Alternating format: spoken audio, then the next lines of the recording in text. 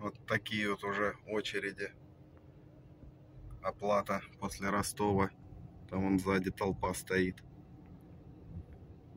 Все на море тусить.